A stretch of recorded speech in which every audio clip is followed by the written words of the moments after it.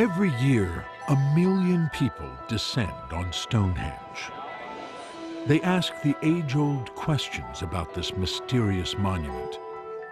Who built it? How was it built? And why?